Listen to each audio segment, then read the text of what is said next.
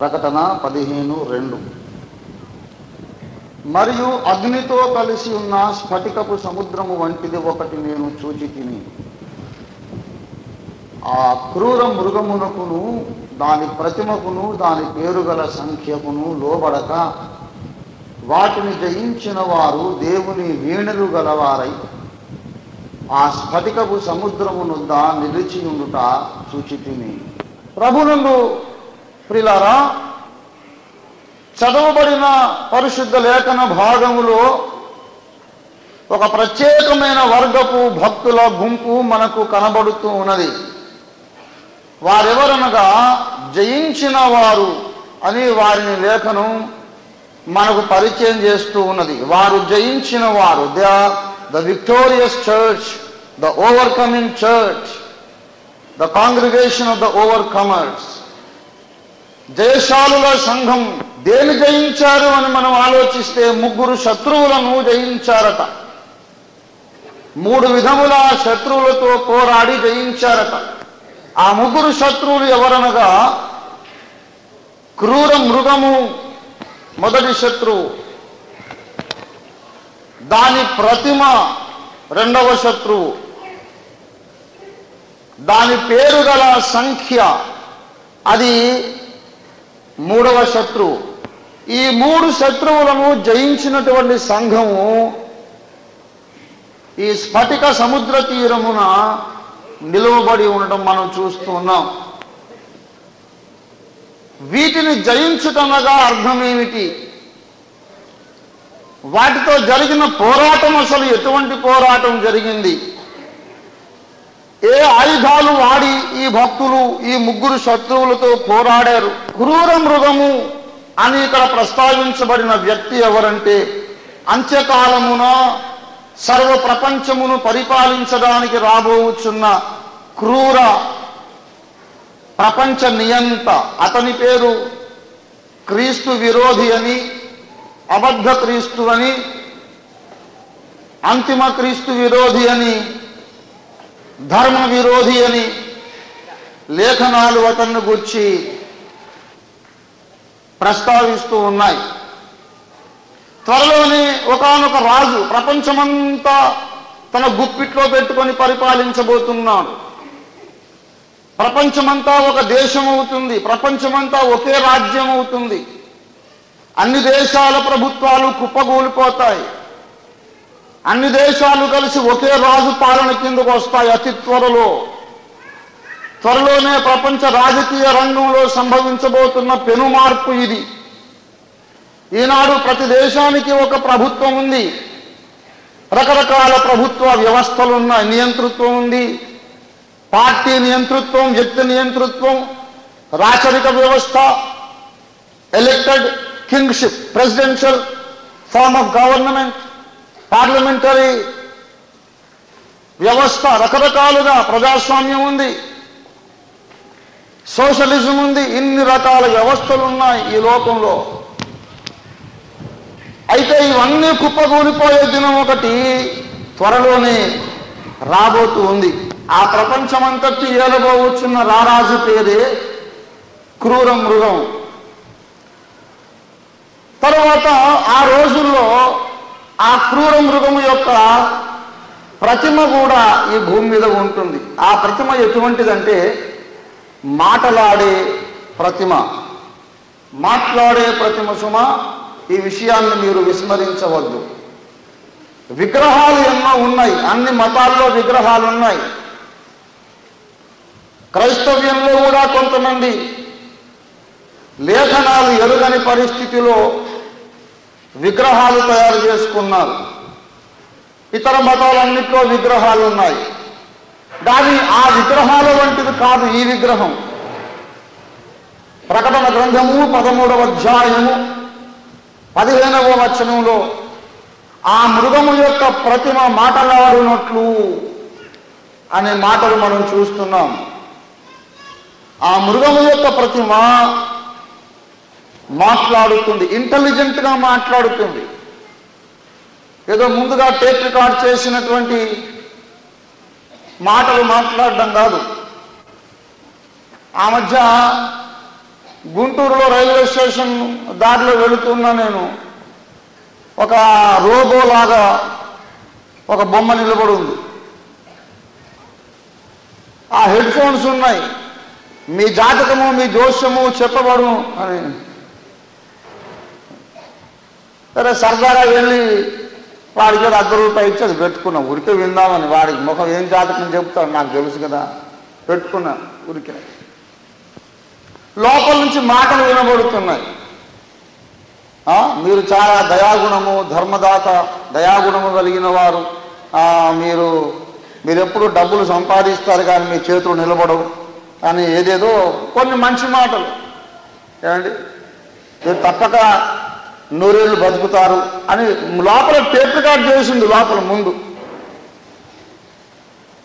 అలా ఎవరైనా ముందుగా టేప్ రికార్డ్ చేసిన మాట లోపల బొమ్మలో పెట్టి హెడ్ ఫోన్స్ పెట్టి మాట్లాడిస్తే మాట్లాడించవచ్చు ఇప్పుడు అదే బొమ్మ దగ్గరికి మూడో క్లాస్ చదివే పిల్లవాడిని తీసుకెళ్ళినా వాడు ఆశ్చర్యపోడు. అది ఎలా మాట్లాడుతుందని? ఆశ్చర్యపోడు. అందరికీ తెలుసు లోపలేదో టేప్ రికార్డెడ్ క్యాసెట్ ఉంది లోపల రికార్డెడ్ క్యాసెట్ ఉంది ప్లే చేస్తున్నారంతే. కానీ ఈ ప్రతిమ అటువంటి ఎలక్ట్రానిక్ రికార్డెడ్ మెసేజ్ కాదండి. ఆలోచన పరుడైన మనిషిలాగా మాట్లాడుతుంది. పలకరిస్తుంది. నీ కష్టాలను గురించి మాట్లాడుతుంది ఆ ప్రతిమ. ఎటువంటి ప్రతిమ అంటే దానిని నాస్తికులు హేతువాదులు మేధావులు శాస్త్రవేత్తలు అందరూ బోర్లబడి సాష్టాంగపడి ఆరాధిస్తారు. ఇది దేవుడు కాక మరొకడు కాదు అని. ప్రపంచములోని మహామేధావులు జ్ఞానవంతులందరూ ఆ మృగము యొక్క ప్రతిమను ఆరాధిస్తారట. దేవుని బిడలారా ఆనాడు జరిగే మహాద్భుత సూచక్రియలు ఎటువంటివో మత్తయి సువార్త ఇరవై నాలుగు ఇరవై నాలుగులో మన ప్రభువైన యేసునాథుడు ముందే మనకు వ్రాయించి పెట్టాడు.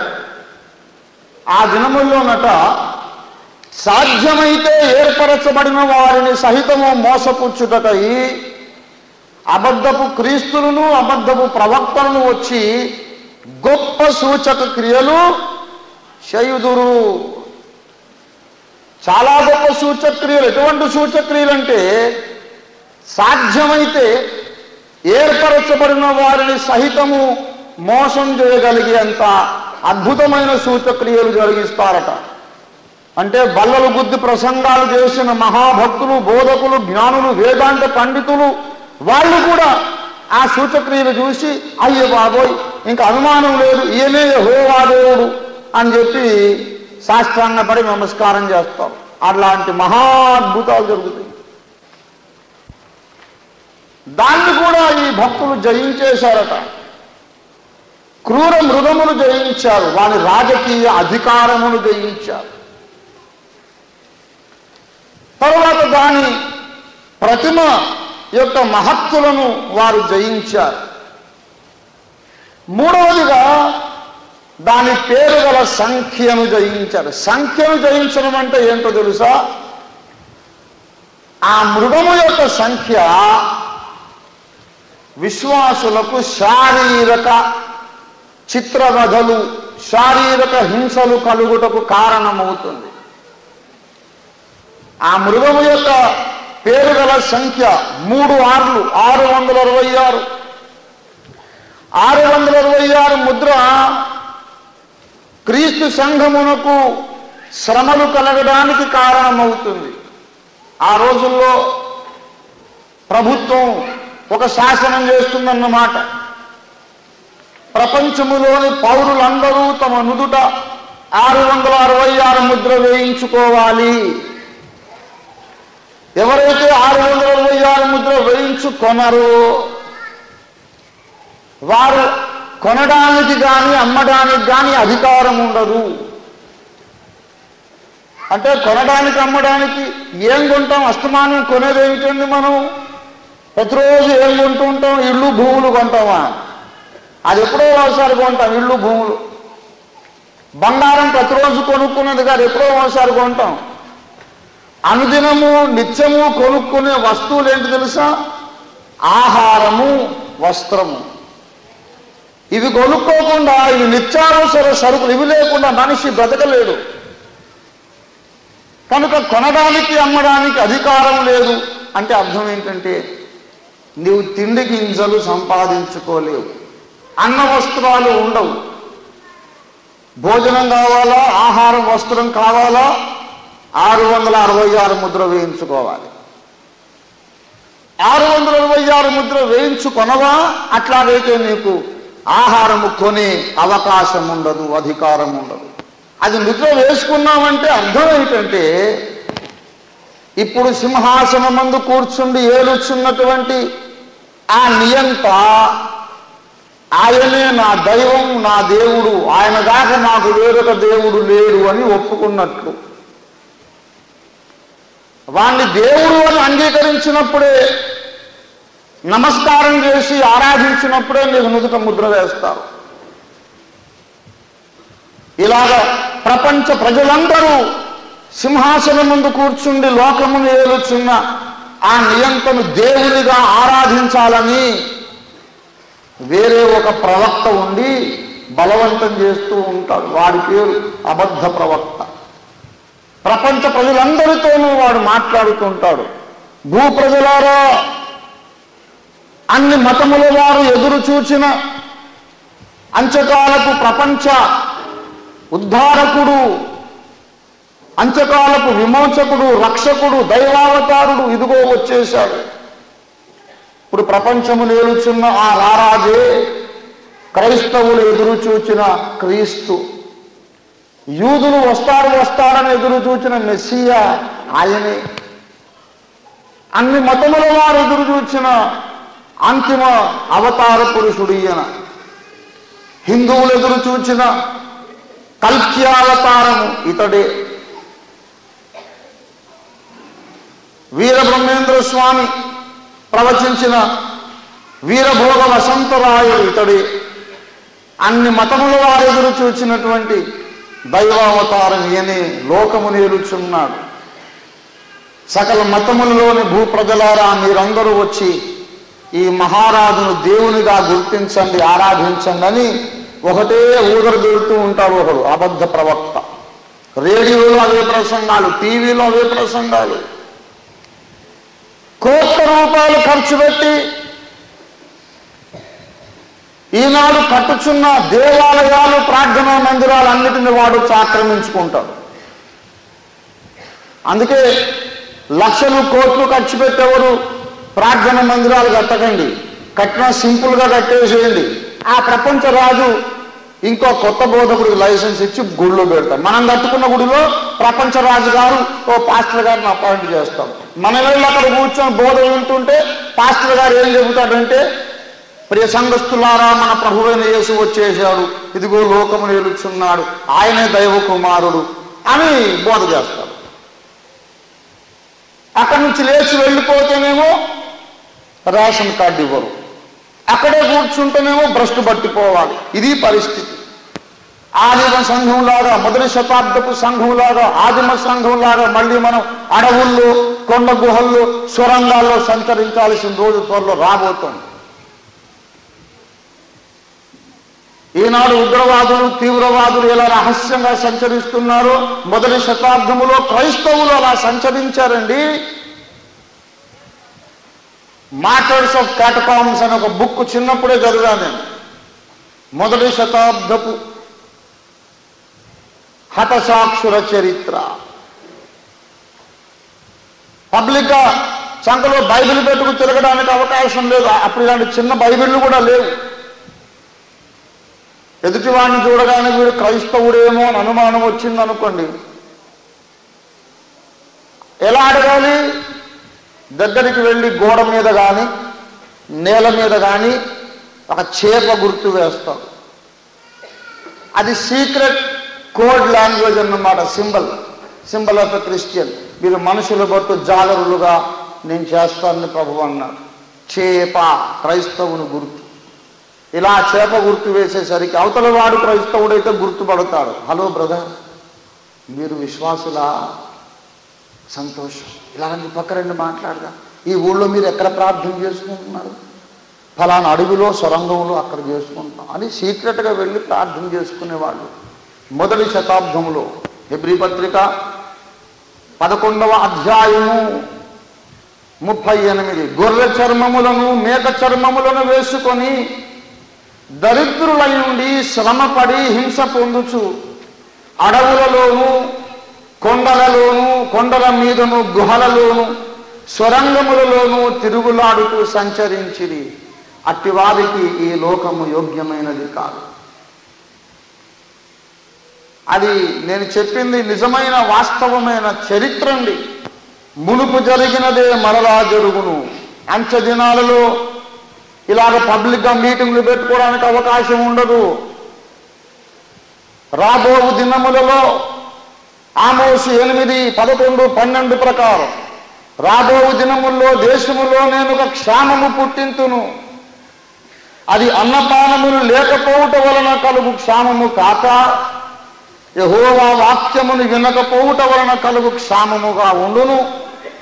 ఆ దినముల్లో యహోవా మాటను వెదుకుటకై జనులు ఈ సముద్రము నుండి ఆ సముద్రము వరకు సంచరించదరు కానీ అది వారికి దొరకనే దొరకదన్నా. వాక్యము దొరకని కాలం రాబోతోంది. ఘోరమైన కరువు కాలం రాబోతోంది. అందుకే మూడు విషయాలను పాడు చేయవద్దన్నాడు. ప్రకటన గ్రంథము ఆరవ అధ్యాయం ఆరవ వచనం. దేనారమునకు ఒక సేరు గోధుమలనియు దేరా దేనారమునకు మూడు సేర్ల ఎవలనియు? నూనెను ద్రాక్షారసమును పాడు చేయవద్దనియు. ఆ నాలుగు జీవుల మధ్య ఒక స్వరము పలికినట్లు నాకు వినబడింది అంచె దినాలలో రెండు విధముల కరువు రాబోతుంది శరీర ఆహారానికి కూడా కరువు ఆత్మీయ ఆహారానికి కూడా కరువు రాబోతుంది. అందుకే మర్మముగా నిగూఢముగా చెప్పాడు ఆ మాటలు. దేనారము అంటే ఒక దినపు మత సువార్త ఇరవయో అధ్యాయం చదువుకోమంటాను నేను. ఒక తోట యజమాని దినమునకు ఒక దేనారము కూలి ఇస్తానని కొంతమంది పని వాళ్ళను కుదుర్చుకున్నాడట. దినం కూలి ఒక దేనారం. రాను రాను ద్రవ్యోల్బణాన్ని బట్టి డబ్బు విలువ పడిపోతోంది.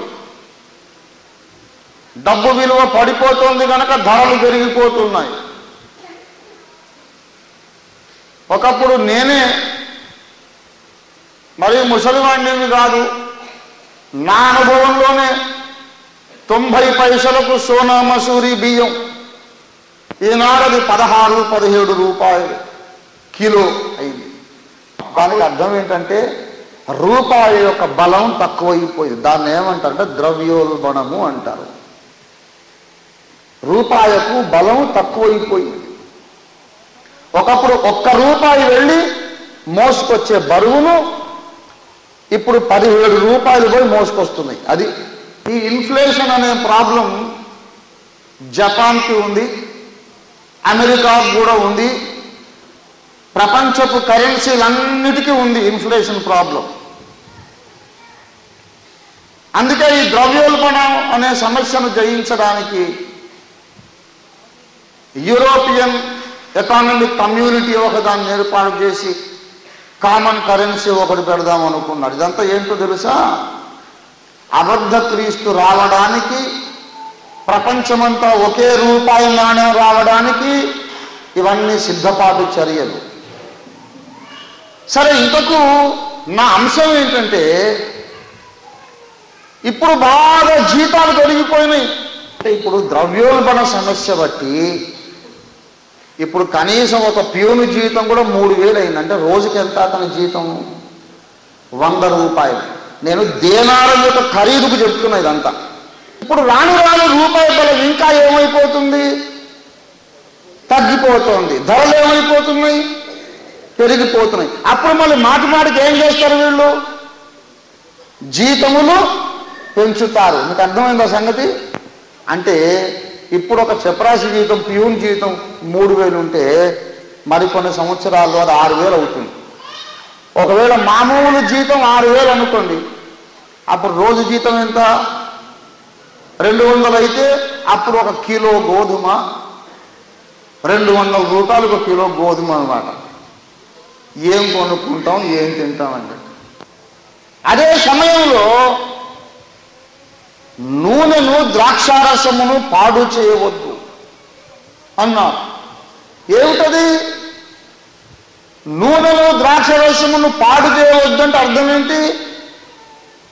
వాటిని జాగ్రత్తగా దాచుకోమని అర్థం. దేనారానికి కిలో గోధుమలు దేనారానికి రెండు సార్లు ఎవరైతే ద్రాక్ష రసాన్ని భద్రం చేసుకోవడం ఏంటి? ఇది ఆత్మీయ హెచ్చరిక. ద్రాక్షారసమును పాడు చేయుట. ద్రాక్షారసం అనేది దేవుని వాక్య ప్రకారం ప్రభువైన యేసుక్రీస్తు రక్తానికి సూచన. కడవరి దినాలలో క్రీస్తు రక్తమును గూర్చిన సువార్త ప్రకటించబడుతుండగా అనేక మంది క్రీస్తు రక్తాన్ని అపవిత్రమైనదిగా ఎంచి తృణీకరిస్తారట. హెబ్రి పత్రిక పదివ అధ్యాయము ఇరవై తొమ్మిదవ వచనం. తాను పరిశుద్ధపరచబడుటకు సాధనమైన నిబంధన రక్తమును అపవిత్రమైనదిగా ఎంచిన వాడు ఎంత ఎక్కువైన దండనకు పాత్రుడగును? ద్రాక్షరసాన్ని పాడు చేయడం అంటే సువార్తను నిర్లక్ష్యం చేయడం అన్నమాట.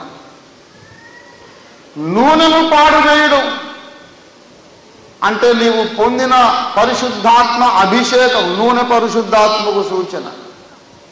ఏసు రక్తపు విలువను గ్రహించండి పరిశుద్ధాత్మ నూనె యొక్క విలువను గ్రహించండి.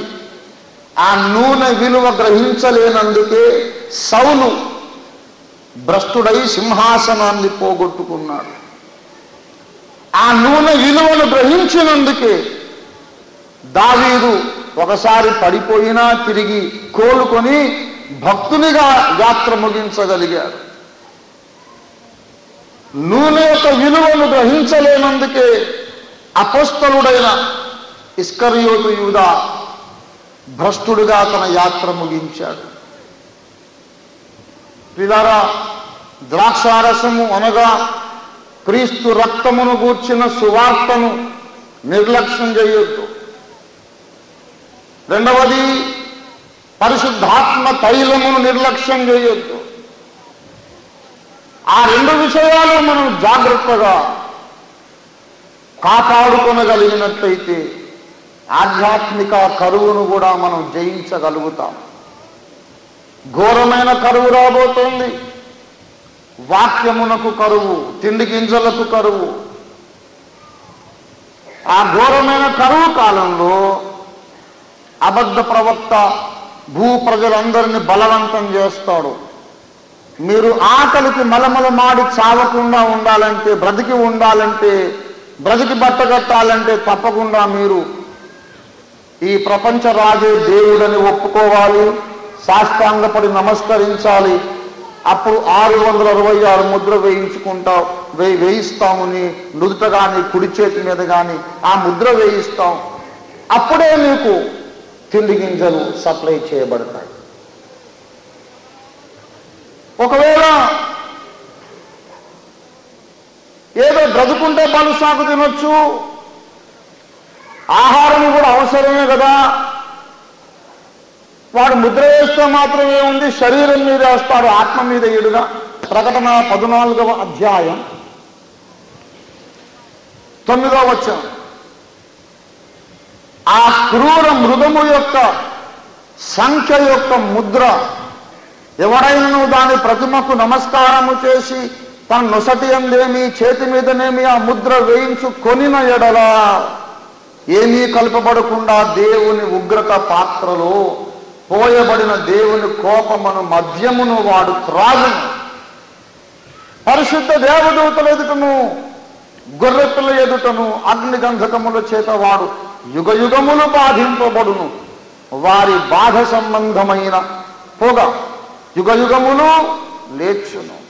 ఆ ముద్ర వేయించుకుంటేనేమో నిత్య నరకాగ్ని గంధకముల గుండంలో వెళ్ళిపోవాలి. నరక గుండం నరకాగ్నిలో వెళ్ళిపోవాలి.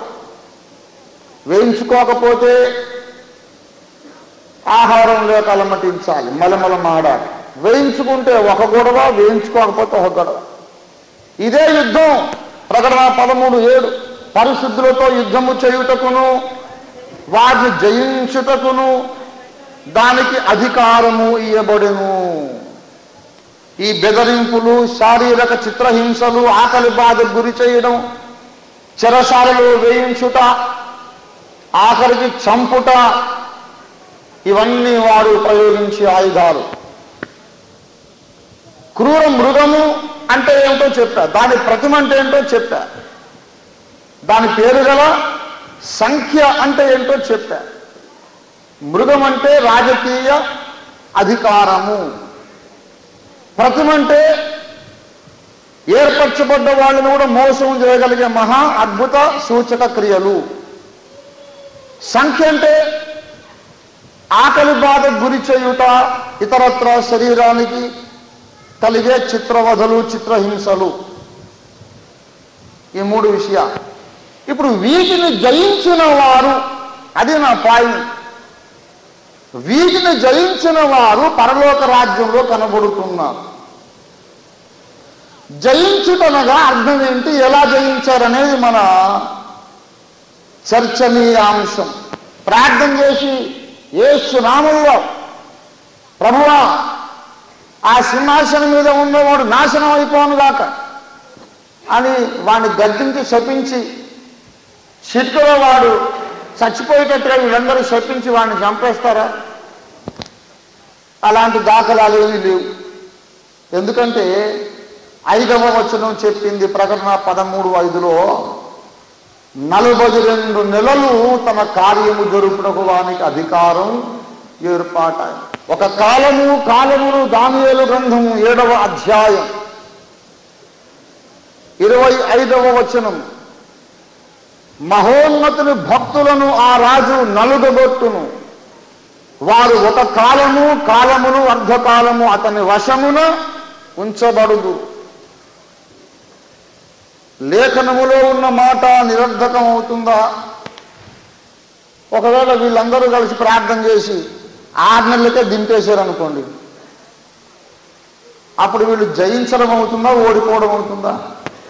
అది గెలిచినట్టే. వాడిని నాశనం చేస్తే అది కూడా గెలిచినట్టే. కానీ ఆ గెలుపు మన గెలుపు అవుతుంది కానీ లేఖనము యొక్క ఓటమి అవుతుంది. అర్థమైందా? దేవుడు అలా జరగనీయడు అలా మనమందరం కలిసి బంధిస్తే మనం గెలిచిపోతాం మనం బతికి మనం తప్పించుకుంటాం బ్రతికిపోతాం. కానీ బైబిల్ ఏమవుతుంది మరి? అబద్ధం అయిపోదు. గెలిస్తే మనము దేవుడు కలిసి గెలవాలి కానీ మనం గెలిచి దేవుడు ఓడిపోకూడదు.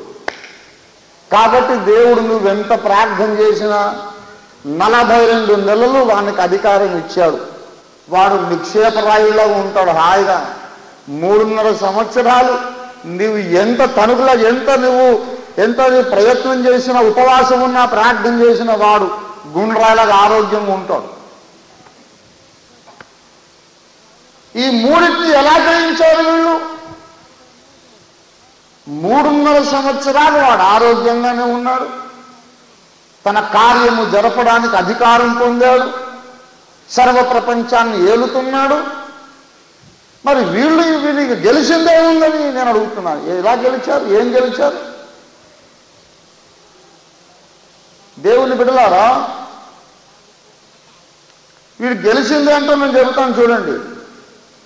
ఏం చేశారు తెలుసా? ఎలా గెలిచారు తెలుసా? ప్రకటన గ్రంథము ఇరవయవ అధ్యాయము నాలుగవ వచనం చూడండి. మరియు క్రూర మృగమునకైనను దాని ప్రతిమకైనను నమస్కారము చేయక తమ నొసళ్ళ ఎందు గాని చేతుల ఎందు గాని దాని ముద్ర వేయించు కొనని వారిని యేసు విషయమై తామిచ్చిన సాక్ష్యము నిమిత్తమును దేవుని వాక్యము నిమిత్తమును శిరఛేదనము చేయబడిన వారి ఆత్మలను చూచి తిని వీళ్ళు ఏం చేశారు? ఆ ముద్రను వేయించుకొనక యేసును గురించి సాక్ష్యం ఇచ్చారు కనుక వారు శిరచ్ఛేదనం చేయబడ్డారు. అంటే తలనరికి చంపబడ్డారు. అదండి వీళ్ళ జయం. ఇంకా జయం ఎక్కడ ఉందండి? వాడు నానా బాధలు తాగని చంపుతారు. ఇంకా గెలిచిందేముంది అసలు దేవుని బిడ్డలకు గెలుపు అనగా ఏమిటి? అది ఈనాటి నా అంశం. గెలుపు అనగా అర్థం ఏంటని అడుగుతున్నాను. ఒక పరిస్థితి మన కళ్ళ ముందు పరిశుద్ధాత్మ దేవుడు పెయింట్ చేశాడు. ప్రపంచ ఏక ప్రభుత్వం విశ్వాసులకు ఘోర హింసలు అద్భుత కార్యములు సూచకీల ద్వారా మోసం చేయటం శారీరక బాధలు హింసలు పెట్టి చిత్రవదలు పెట్టి యాతన పెట్టి వారిని బలవంతంగా విగ్రహారాధన కొరకు వారిని ప్రేరేపించడం ఈ భయంకర బాధల మధ్యలో వీళ్ళు జయించిన వారు ఏడు సంఘాలకు రాసిన యువతల్లో సకలమైన ఆశీర్వాదాలు ఎవరికి వాగ్దానం చేయబడ్డాయండి? ఏమండి? ప్రకటన రెండు మూడు అధ్యాయాలలో ఏడు సంఘాలకు లేఖలు రాశారు. ఎఫెసు స్మరణ పెరగము క్రియకయుడ సార్గీసు ఫిలదెల్ఫియా లవోదికయా అని ఏడు సంఘాలకు రాసిన ఉత్తరాలలో ప్రతి సంఘానికి రాసిన లేఖలు చివరన సంఘ ప్రభువైన యేసునాథుడు అన్నాడు జయించువానికి మరుగైన మన్నాను భుజింపనిచ్చదను. జయించువానికి మరుగైన తెల్లని రాతినిచ్చదను. జయించువానిని నా దేవుని ఆలయములో స్తంభముగా చేసేదను. జయించువానికి జీవ కిరీటమిచ్చేదను. జయించువాణిని నాతో పాటు నా సింహాసనం ముందు కూర్చుండబెట్టుకొనదను జయించినవాడు జయించినవాడు దేని జయించినవాడు. ఏమండి? దేన్ని జయించాలంటే శరీరాన్ని జయించాలి శాతాన్ని జయించాలి అని బోధ చేయవచ్చు కానీ మన సాంప్రదాయం ఏంటంటే లేఖనములో ఒక చోట మనకు ప్రశ్న కలిగితే దాని లేఖనని వేరొక చోట సమాధానం చెప్పాలి. లేఖనమును మనం వివరించద్దు. లేఖనమును లేఖనమే వివరించాలి. The Bible is the own best commentary మన బోర్డు కామెంటరీ కాదు. బైబిలో కామెంటరీ చేసింది ఆ విషయంలో. రెండు మూడు అధ్యాయాల్లో జయించువానికి జయించువానికి జయించువానికి అని ఆశీర్వాదాలు వాగ్దానం చేశాడు. పదిహేనవ అధ్యాయంలోకి వచ్చి దేనిని జయించాలో చెప్తాడు దేన్ని జయించాలట? క్రూర మృగమును దాని ప్రతిమను దాని పేరు గల సంఖ్య. ఈ మూడిని జయించేవాడు. అది అసలు సంగతి. పాపాన్ని జయించాల్సిందే. లోకాన్ని జయించాలి శరీరాన్ని జయించాలి. వాస్తవమే సాధన లేదు కానీ అంచకాలములు ప్రధానముగా ముగ్గురు శత్రువులను క్రీస్తు సంఘం ఎదుర్కోబోతుంది. ముగ్గురు శత్రువులు సంఘం మీద దాడి చేయబోతున్నారు. ముగ్గురు శత్రువులతో సంఘం యుద్ధం చేయాల్సి రాబోతుంది. ఆ యుద్ధంలో భక్తులు ఎంత ప్రార్థన చేసినా వాళ్ళకు విడుదల దొరకదు. ఎందుకంటే మహోన్నతుని భక్తులు అతని వశమున ఉంచబడతారని లేఖనం చెప్పింది. అతని వశమున ఉంచబడుగురు వాడేమో మెత్తన వాళ్ళు ఏం చేయము నలుగొట్టును దేవుని బిడ్డారా మహోన్నతుని భక్తులు ఆ రాజు వశమున ఉంచబడతారు. వాళ్ళు ఎంత ప్రార్థన చేసినా వాడు రాజే సింహాసనం మీద ఉంటారు బాధలు బాధలే. ఆఖరి వాళ్ళను నలగొట్టి బెదిరించి సూచకుల ద్వారా దారి తప్పించడానికి ప్రయత్నిస్తాడు. అప్పటికి వినకపోతే ఆకలి బాధకు మలమల మాడేలా చేస్తాడు. అప్పటికి వినకపోతే ఆఖరికి వారు శిరచ్ఛేదనం చేసి చంపేస్తాడు. ఇక మీరు గెలిచింది అక్కడ దేవుని బిడ్డలారా పౌరు భక్తుడు తనకున్న జయ జీవితాన్ని గురించి కూడా అలాగే వర్ణిస్తాడు. రెండవ పరిమితి పత్రిక రెండవ అధ్యాయంలో తన జయ జీవితాన్ని గురించి పౌరు భక్తు సా గర్వముగా స్వాతిశయంతో అన్నట్టుగా అతిశయం పూర్వకంగా చెప్పుకుంటాడు ఆయన. రెండవ గురించి రెండవ అధ్యాయం పద్నాలుగవ వచనం. మా ద్వారా ప్రతి స్థలమందును క్రీస్తును గూర్చిన జ్ఞానము యొక్క సువాసనను కనబరుచుచు. ఉమ్, ఆయన ఎందు మమ్మను ఎల్లప్పుడూ విజయోత్సవముతో ఊరేగించుతున్న దేవునికి స్తోత్రము. దేవుడు పావులను ఎలా ఊరేగించాడంట? ఎలా ఊరేగించాడు? విజయోత్సవముతో మర్చిపోకండి. విజయోత్సవముతో ఎలా ఊరేగించాడో వేరొక చోట కొరిందీలకే రాశాడు మనం చూద్దాం ఎంత అందముగా ఊరేగించాడో చూద్దాం. మొదటి కొరించి పత్రిక నాలుగవ అధ్యాయం. మొదటి కొరించి నాలుగవ అధ్యాయం. తొమ్మిదవ వచనం. మరణదండన విధించబడిన విధింపబడిన వారమైనట్లు దేవుడు అపస్తరులమైన మమ్మను అందరికంటే కడపట ఉంచి ఉన్నాడని నాకు తోపించింది అలా ఊరేగించాడు. ఏమండి? ఇంకలా ఊరేగించాడు? మేము లోకమునకును దేవదూతలకును మనుష్యులకును వేడుకగా ఉన్నాము. మేము క్రీస్తు నిమిత్తము వేరువారం మీరేమో బుద్ధిమంతులు. మేము బలహీనము మీరు బలవంతులు. మీరు గనులు మేము గణహీనులం. ఈ గడియ వరకు ఆకలి దప్పులు గలవారం. ఇరవై ఏడు సంవత్సరాలు సేవ చేశాక పౌలు భక్తుడు వ్రాసిన ఉత్తరం మొదటి కొరింది పత్రిక. అప్పటికి ఇరవై ఐదేళ్ళు సేవ చేశారు. ఇంకా ఆకలి దప్పికలు గలవారం.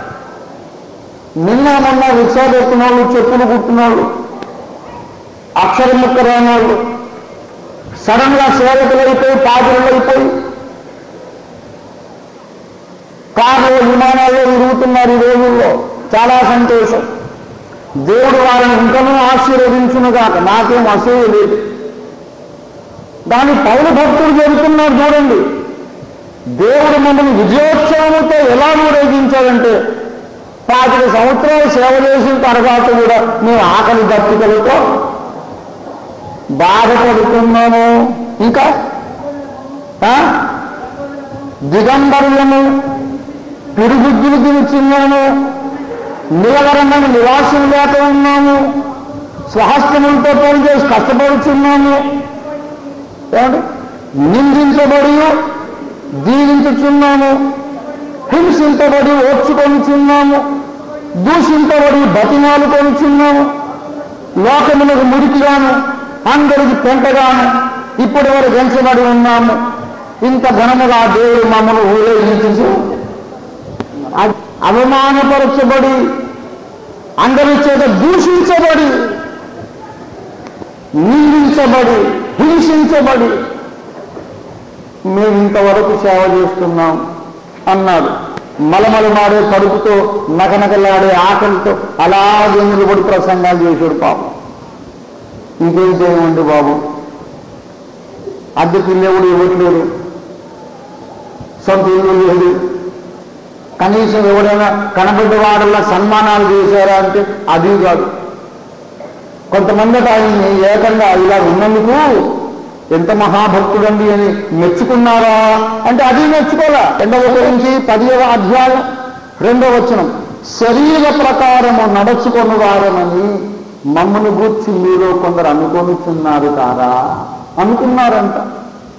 ఈ మహాభక్తుని గూర్చి అలా అనుకున్నారు. ఏమనుకున్నారు? ఆ అని మొహం. పౌలా పౌల సంగతి నాకు చెప్పు.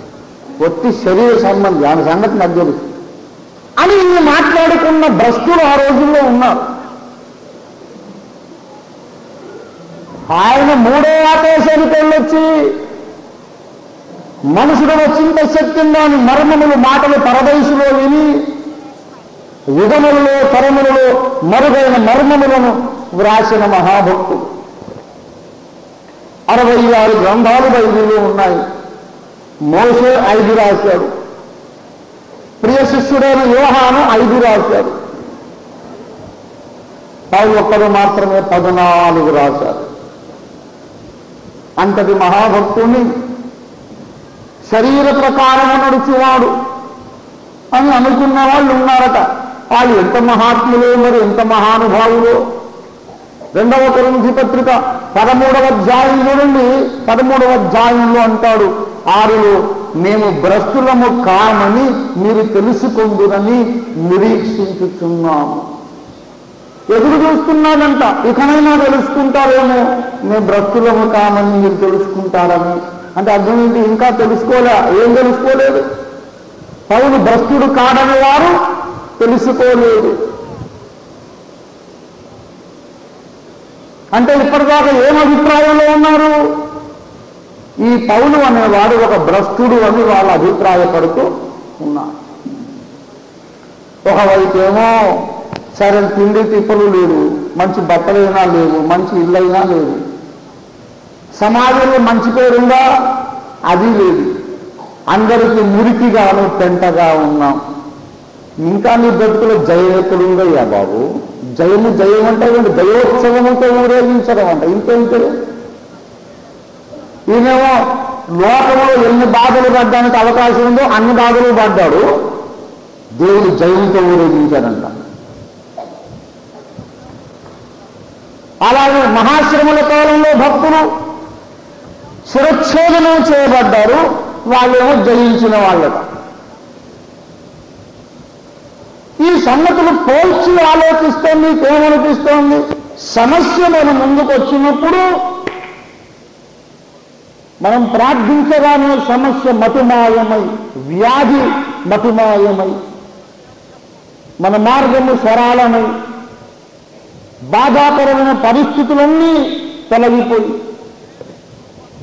మనకు సంతృప్తికరమైన పరిస్థితులు ఏర్పడితే మనము జయం పొందామనుకుంటాం.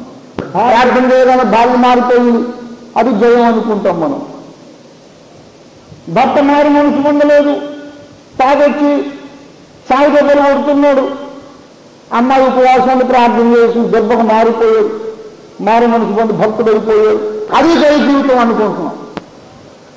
ఎంత ప్రార్థించినా ఈ భార్య మారు మనసు పొందరు భర్త మారు మనసు పొందరు. ఎక్కడ అప్పులు అక్కడే ఉన్నాయి ఎక్కడ జబ్బులు అక్కడే ఉన్నాయి ఇంకా కొత్త నొప్పులు రోజు వస్తూ ఉన్నాయి. ఇంకా జయం ఎక్కడ ఉందండి? జయము అనగా సమస్య తీరిపోవుట జయమని మన వ్యాఖ్యానం. కానీ దేవుని వ్యాఖ్యానం అది కాదు. సమస్య తీరుట జయము కాదండి ఎక్కడి సమస్యలు అక్కడే ఉన్నా మన విశ్వాసము కొనసాగించుకొనితే దేవుని దృష్టిలో జయం. అది జయం. పౌలు జయోత్సవముతో ఊరేగించాడు. ఎందుకన్నాడు తెలుసా? ఆకలి బాధ వస్త్రములు లేకపోవడం సమాజంలో అపనిందలు ఇవేవి తొలగిపోలేదు. వినండి ఈ సకల బాధలు వ్యధలు అవమానాలు. సాతాను ఏ ఉద్దేశంతో తెచ్చిపెట్టాడో తెలుసా? ఈ మానసిక వేదనలు మనోవ్యధలు శారీరక బాధలు బీదరికం వీటన్నిటి ఒత్తిడి ఫలితంగా ఆకాశం నుండి కలిగిన దర్శనాన్ని పౌలు మరిచిపోవాలని సాతాను ఆశించాడు. దేవుడు అప్పగించిన పరుగును పౌరు భక్తుడు ముగించకూడదని తుదముట్టించకూడదని సాతాను ఆశించాడు. ఈ బాధలకు లొంగిపోయి విశ్వాసాన్ని కూడా వదులుకుంటాడేమోనని సాతాను ఆశించాడు. ఎన్ని శారీరక బాధలు మనోవ్యధులు కలిగినా తన విశ్వాసాన్ని ఈ ఒత్తిడులన్నిటి మూలంగా ఏమాత్రం వదులుకోకుండా ఈ ఒత్తిడుల మధ్యలో పౌలు తన విశ్వాసాన్ని కాపాడుకున్నాడు. ఈ ఒత్తిడిల మధ్యలో తన పరుగును తుగముర్తించాడు ఈ ఒత్తిడిల మధ్యలో పౌలు మంచి పోరాటం పోరాడాడు. ఏ ఉద్దేశంతో ఈ శ్రమను శాతాన్ని తెచ్చిపెట్టాడో ఆ ఉద్దేశం నెరవేరలేదు. భక్తునికి శ్రమలు కలిగించట్లో శాతానికి ఒక ఉద్దేశం ఉంది. అది నెరవేరనివ్వకపోవడమే మనకు జయం. దేవుని స్తోత్రం కలుగునుగా. హల్లెలూయా హల్లెలూయా. యోగుకు ఎందుకు శ్రమలు తెచ్చిపెట్టాడు వాడు?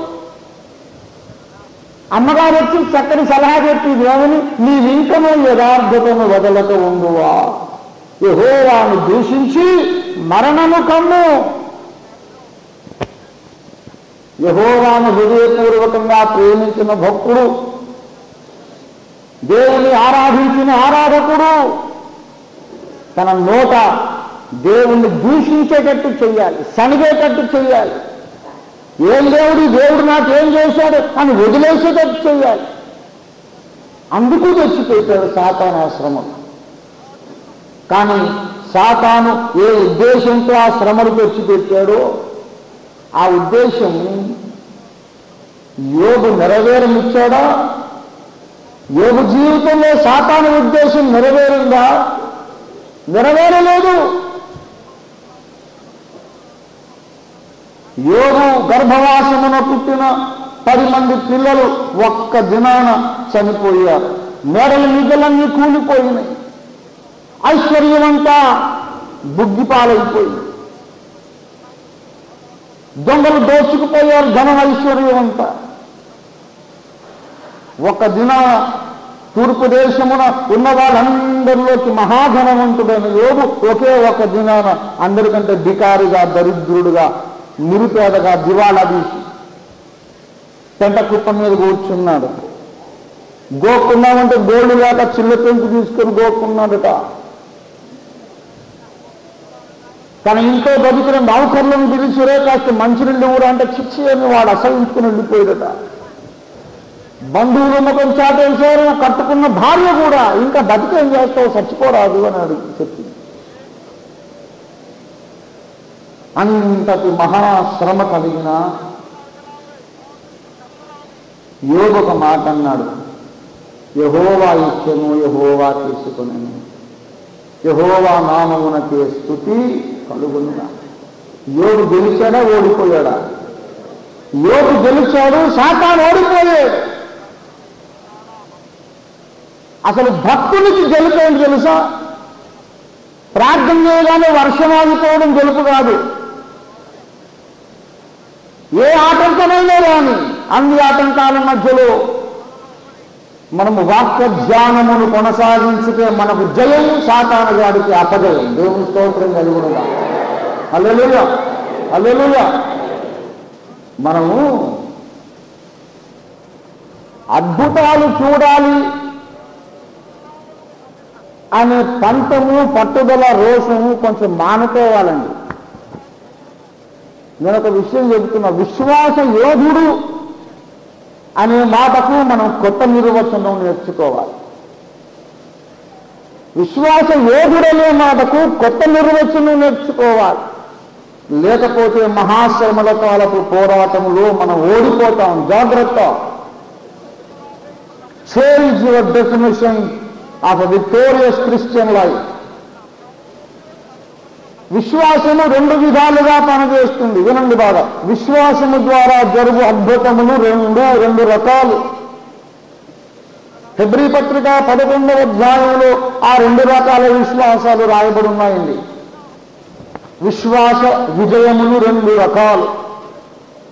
ఫిబ్రి పత్రిక పదకొండవ అధ్యాయం ముప్పై మూడవ వచనం.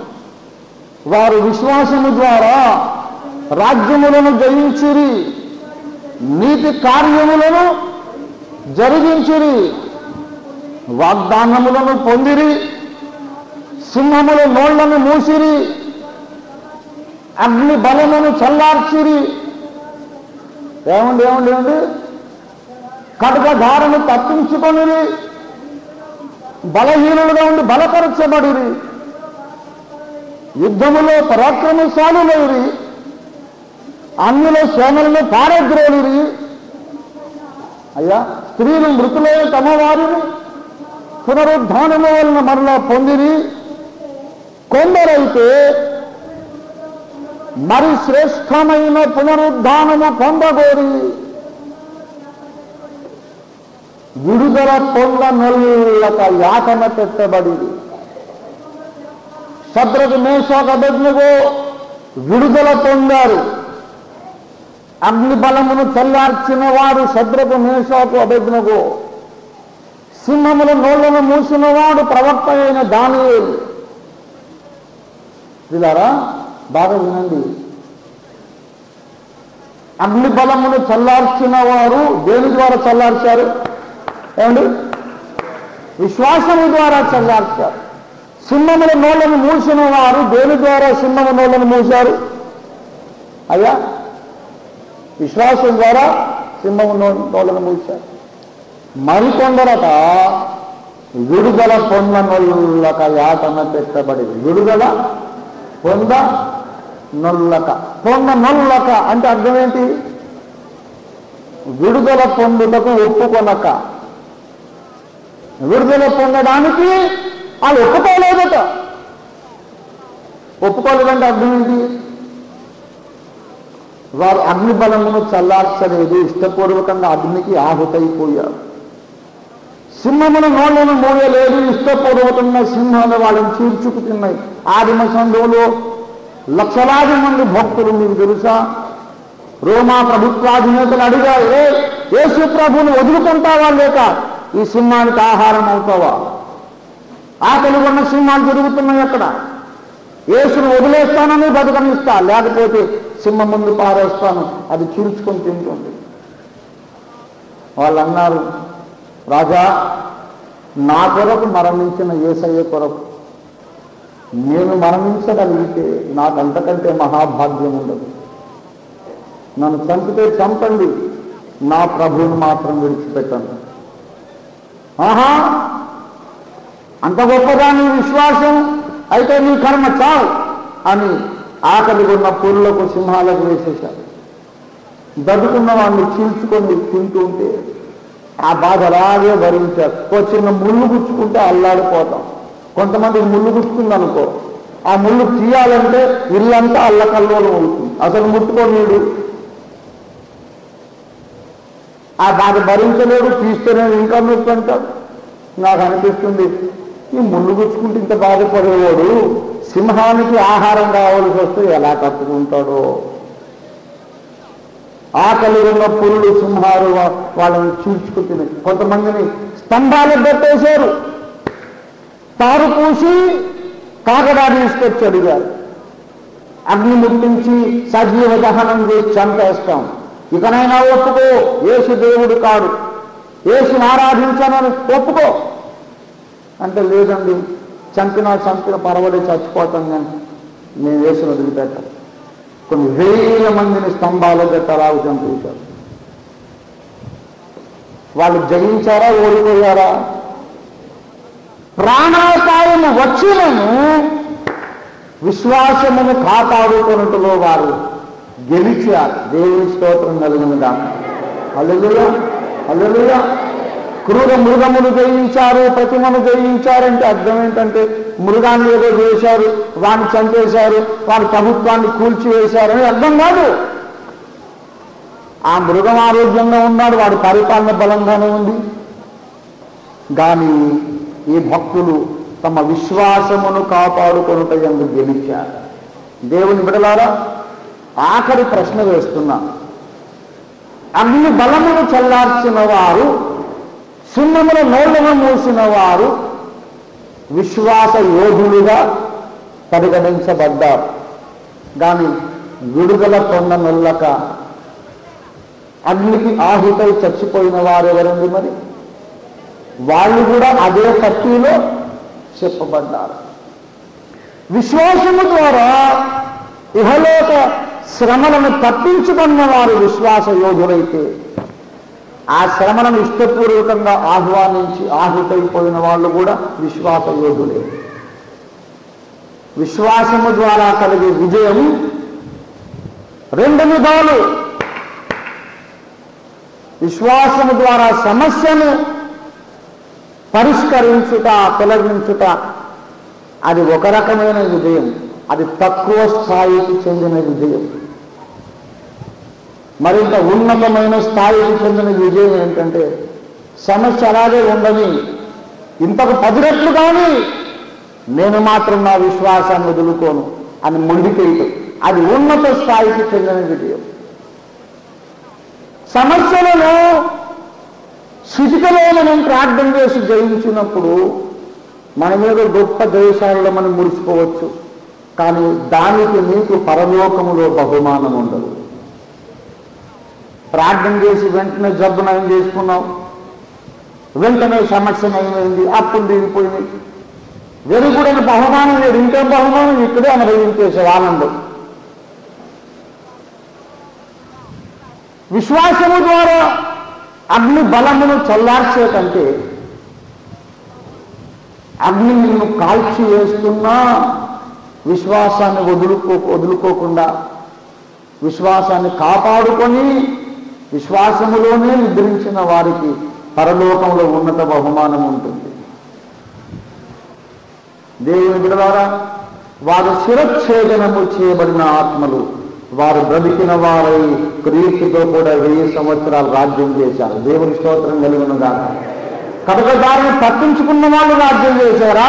కటకదారుకు శిరచ్ఛేదనం చేయబడ్డ వాళ్ళు రాజ్యం చేశారా? ఏమండి?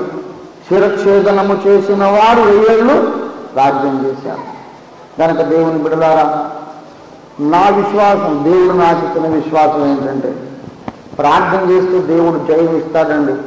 సమస్యను పరిష్కరిస్తాడు. దానికి మురిసిపోకండి. ఒక్కొక్కసారి సమస్య మనం ఎంత ప్రార్థించినా తొలగిపోదు. ఎందుకో తెలుసా? తొలగిపోని సమస్యలలోనే యోగు వంటి పౌలు వంటి భక్తులు తయారవుతారు. చిటికలో పరిష్కారం అయితే నువ్వు ఎప్పటికీ పౌరులు కాలేవు సమస్య కొనసాగాలి. నీ శ్రమ కొనసాగాలి. అందులోనే నువ్వు ఒక పౌలు అవుతావు.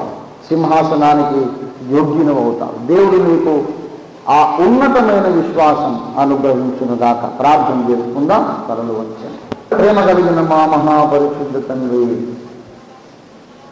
విజయం అనగా ఏమిటో అనేక మంది భక్తుల చరిత్రలను ఎత్తి చూపి మాకు బోధించారు. నీకు వందనాలు స్వామి. అడిగిన జిల్లా రాకపోతే దాన్ని ఒక ఓటమిగా భావించి నీ మీద సనిగి గొనిగి అయ్యో నిన్ను దూషించే దౌర్భాగ్యత మాలో అనేకుల్లో ఉన్నది తండ్రి.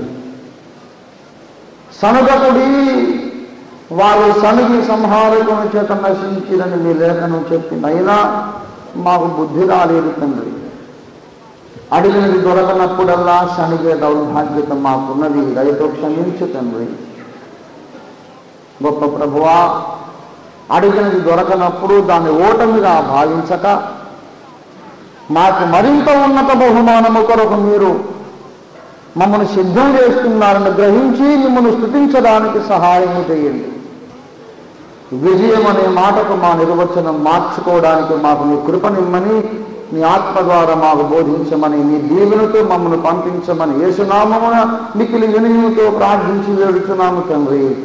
మన తండ్రి అయిన దేవుని ప్రేమ మన రక్షకుడైన యేసుక్రీస్తునాథు నీ శాశ్వత కృప పరిశుద్ధాత్మ దేవుని తోడి దివ్య మనోహర సహవాసం చేయవచ్చిన మనకందరకును భూలోకమందున సకల భక్త కోటిలో దేవుని కొలువులో పరీక్షించబడుతున్న వారికెల్లరకు నిరంతరము తోడై ఉండును గాక ఆయన ఏసరక్తమునికి ప్రభు సంపూర్ణ విజయం కలుగునుగాక.